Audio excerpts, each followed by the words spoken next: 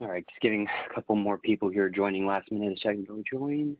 All right, perfect. I think we've got enough people joining up or connecting in, so we can go ahead and get started um, for today. Um, so uh, yeah, so I just wanted to thank everybody for, for joining uh, this week's live demo series uh, with Data Theorem. Uh, before I hand it over to our speaker, I just wanted to let everybody know that we will reserve some time at the end of today's presentation for some Q&A. So if you do have any questions, feel free to drop that into the WebEx chat and uh, we'll, we'll, make sure to reserve some time at the end for that. Um, with that, I'm going to turn it over to my colleague, uh, Karin, who will be our presenter for today. Karin? Hi, uh, can you hear me? I can hear you. Okay, great. So thank you everyone for joining today. Uh, today I'll be talking about how integrated continuous security checks can save your business. Um, it's really important these days to implement a security program as technology evolves. Um, and it also can help you avoid paying millions of dollars in fines.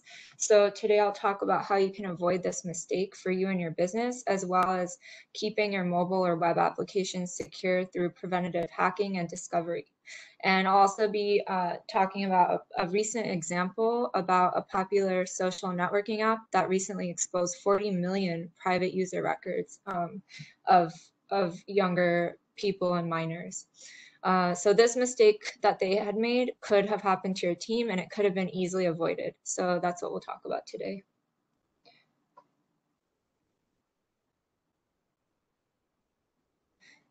So to start, um, let's talk about whether mobile apps really are more vulnerable and why should you even care. So a few different sources indicate that you should care. And so, um, first of all, we can start with International Data Group. Um, they they frequently run surveys about security and other topics uh, to enterprise owners and IT leaders. And what they found was that 74% of IT leaders actually have experienced a mobile-related breach in their organization. So this is very very common, and it's almost always attributed to mobile applications. Um, now, a second statistic here, maybe maybe you have an, an application and you feel that you're doing everything you can to keep it secured. Um, even still, there was a study done by Ohio State University where they found that 8.5% of all mobile apps have backdoor secrets. So um, what they did is they looked at almost all the applications, the top applications in the App Store. They looked at the top uh, 150,000 applications. And out of those 150,000 top by like most downloaded or most popular, um, they found that over 12,000 of them contained hidden behaviors within the app. And this could be like something where you're interacting with an app and then your data is being sent to another third party, or it could be um, something else, just something that either the app developer doesn't know about and the user doesn't know about either. So you might think that you are being secure or you think you're taking all of the right measures, but then you know we're looking at the statistic here and this is almost 10% and it's it's pretty frequent that you could have something that you don't even know about.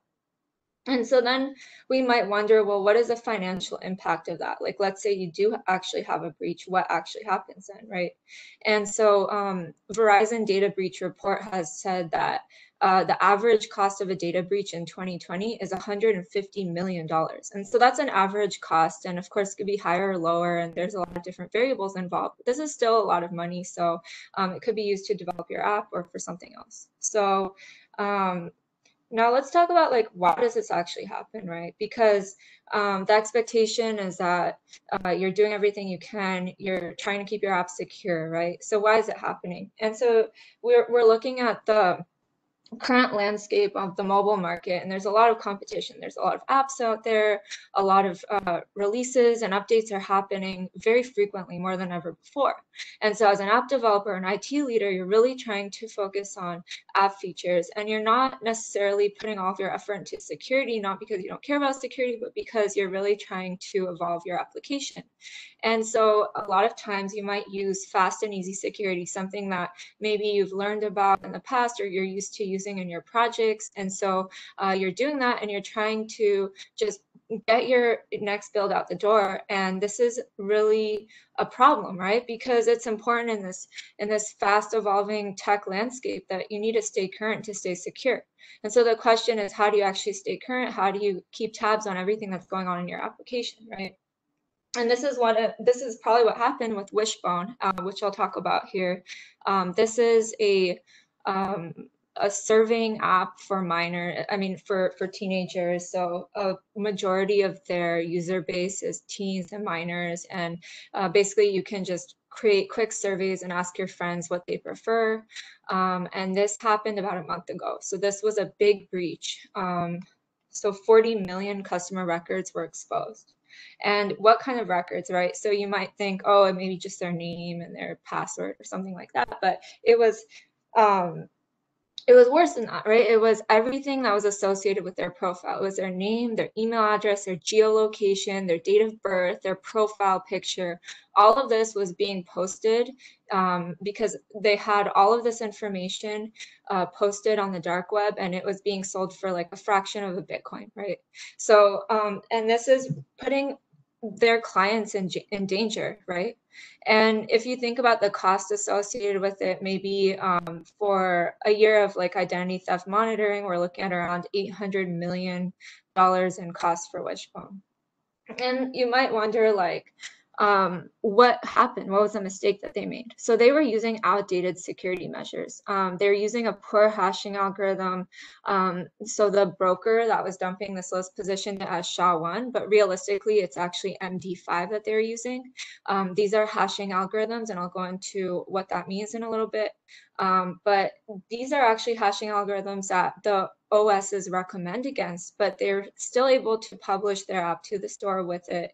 Um, even though the recommendation is not to use it, you you know, it's nobody's going to stop you. And um, you know, they probably were just trying to build the app, trying to get it out the door. Um, didn't have time to update their hashing algorithms, and this is this was a repercussion, right?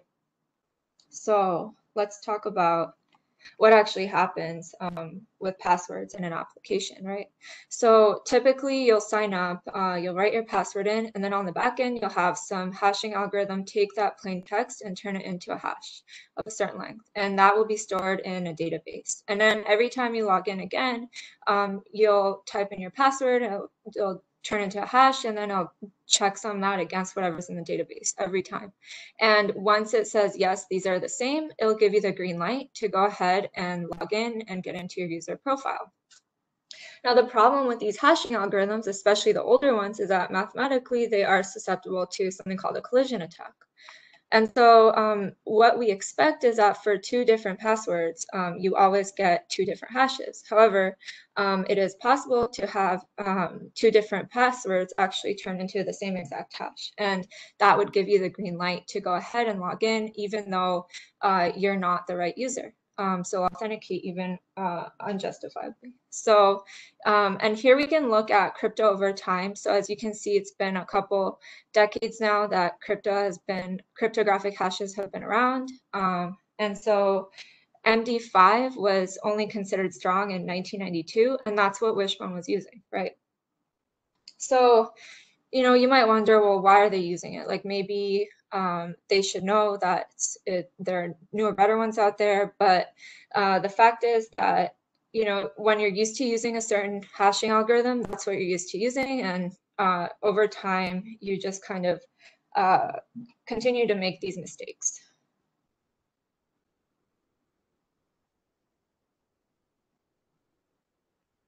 So then, um, you know, what actually happens, you, you might wonder, like, how feasible is it to have a collision attack, right?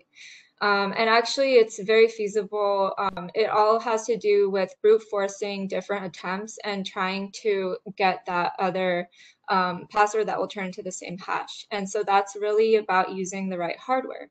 And so if you look at the probability, um, the more attempts you have, the more likely it is that you can um, get that same hash and create that collision attack. And really, it's as easy as sometimes getting a full house in poker, or it can be even easier than that. Um, so the bottom line here is that using old encryption, authentication, or hashing algorithms can lead to data breaches and uh, is a very big mistake, but also very easy to avoid. And you might wonder, well, is this actually even possible? Like who can actually get the right processors? I mean, today for SHA-1, you can probably solve that in a few seconds um, using some of the modern processors. They actually did this, um, this experiment uh, someone on Twitter did this where they they're able to use a GPU and AWS and NVIDIA Tesla V100, and they're able to guess every eight character password for a Windows login in three hours. And so that's, you know, that tells you how easy it is these days to break something like a Windows hash, which is actually considered stronger than both SHA-1 and MD5. It's very, very important here to uh, use the NIST recommended like SHA-3 or SHA-5 uh, that's out there today. So how can data theorem help, right? So uh, first of all, we offer end-to-end full stack solutions um, for your security. Um, we actually, uh, for both the client end as well as the cloud side, we are able to scan and make sure that any vulnerabilities are avoided. Um, because in this case with Wishbone, so many records were leaked, um, this actually could have been an API attack. That's not confirmed, but it could have been. And uh, using API Secure, we would have caught that. Uh, for a mobile and web side, if you're using a web uh, SPA type application or you have mobile applications, uh, we can definitely uh, scan and find any crypto issues there. Um, and you know we also scan everything that you have in your cloud. So if you're using cloud storages we can figure out what's going on there and um, how we do this is we have this analyzer engine. Uh, we run discovery processes where we scan all of the app elements um, across your across the public web, across anything that's in your application. We even scan anything in your cloud building blocks, so like um, cloud storage buckets, databases, queues, anything like that. We check public and private APIs, and then for the mobile side, we check any linked third-party APIs, open source SDKs, and libraries libraries. And we look at each one and we also run like automated preventative hacking. Like we'll, we'll run like SQL injection attacks or fuzzing attacks to try and see if we can get any uh, PII out of there. Um, and after we run all these processes, which are happening in an automated fashion, we can actually remediate where we'll give you suggestions of how you can fix things or what you can do. And when it comes to remediation, the ultimate goal is to resolve issues quickly and safely. So, um, you know, you might wonder why why is everyone doing this? Um, some are trying to do it, but they might be missing a few things. We'll actually tell you uh, what's wrong, who has access, and we'll set up alerts and tell you very quickly um, how to fix it.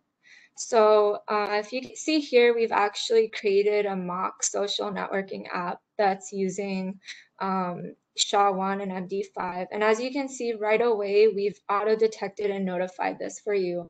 Um, and so, you know, this is an example of some instances where we're, uh, we're we will ID out of date hashing algorithms, like any weak out of date hashing algorithms, you'll be able to see here. And we can actually go one step further and notify you through like Slack um, or Teams or Jira, depending on what you're using. So um, we're we integrate into your, your build pipeline as well. And um, let's dive into a quick demo here where I'll actually show you what the dashboard looks like. So um, here's the dashboard and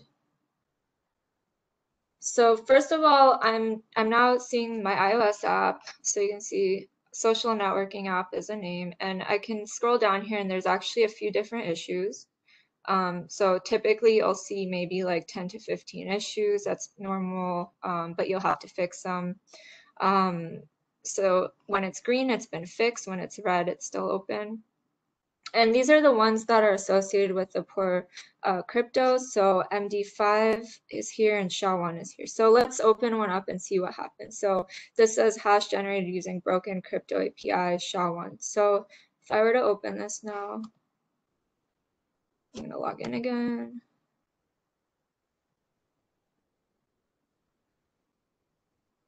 Okay, so so it tells me the following code locations within the app use these functions to generate a message digest. So that's MD5 and um, it's calling SHA-1 to do this. Okay.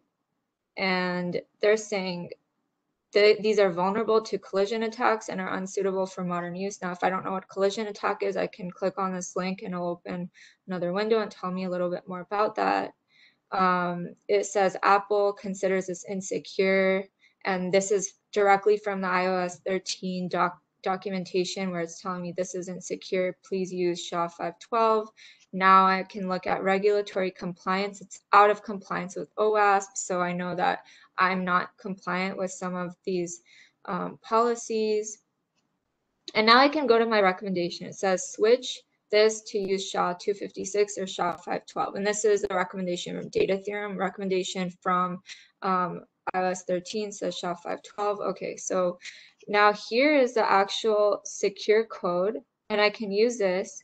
And so this will tell, so here's a comment tells me, okay, this is how you can change this to SHA-512. And so I can take this and replace it in my code. And so I can quickly fix this. And once I uh, replace it in my code and I update my code and then I scan again, which actually um, our tool will do automatic scanning. Um, it'll actually tell me right away if um, it's green or, or red still. So typically after it's fixed, it should turn to green and it won't be an issue anymore. And so I can easily fix all of these, right? And so that's pretty much it for today. Um, going back here, uh, we can talk a little bit about who we are. So we've been working on our security solution since 2013. Uh, we recently got the Gartner Cool Vendor Award in 2020 for our security product. And uh, if you want any additional information um, or if you have any questions, please post them in the chat. But if you want any more information, you can request a demo or email us. Awesome, Karin. Thank you. So let me, uh, I don't think we've gotten any questions in the chat yet. I'll give everybody a minute or two to, to maybe just post that if you do have one uh, outstanding right now. Um, but as Karin mentioned, well, people might be doing that. Um, you can uh, request a demo if you would like to see a little bit more about, uh, you know, how your apps uh, look and are you using some of these out-of-date methods and how you can get those remediated. We'd be happy to set up a demo and review for you uh, at www.datatheorem.com slash demo. Um, and if for whatever reason uh, you, you think of a question after the fact, oh, here we go. Uh, we do have one question. Can you share the OWASP number again for broken crypto? So, uh, so I don't know if you caught that, Karin, if you can go uh, back to the portal and share the OWASP number again for the uh, broken crypto. Oh, okay. I believe it, I believe it's uh, three, but I want to confirm. Uh, M5. M5, five. Yeah. But I think. M6 is also broken cryptography. So like if I were to open some of these other, um, like this is only one issue. If I were to open one of the other ones, this is M5. Um, yeah, I guess they're all M5. So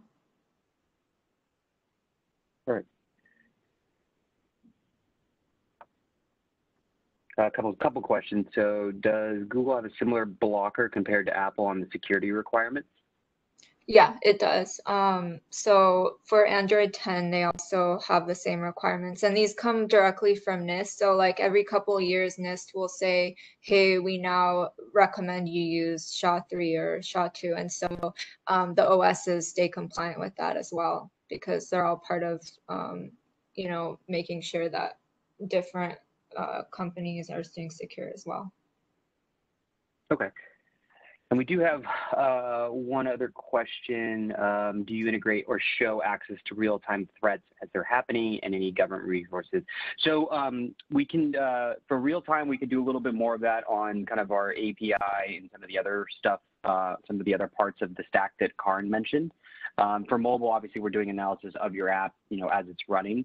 Um, so the results are, are pretty pretty instantaneously. Uh, we come back with a lot of this usually generated within a few minutes. Yeah, and, Um, you so we can, can we can definitely do that analysis. yeah, you can set up your um your scans to be daily or even more frequent than that, and so that would be pretty close to real time. Um, and uh, we do have some uh, additional resources which we can uh, we can definitely send out to you as well. Perfect. I think, Karin, I think that so far is all the questions we have. But like I mentioned, if anybody has any other questions, feel free to uh, reach out to knowledge at datatheorem.com and we'll be happy to uh, get you an answer to that. Okay. Perfect. Well, thank you everyone for for joining this week, and uh, look, and uh, we're excited to hopefully have you join us for future live demos with Data Theorem. Thank you. Thank you, everyone.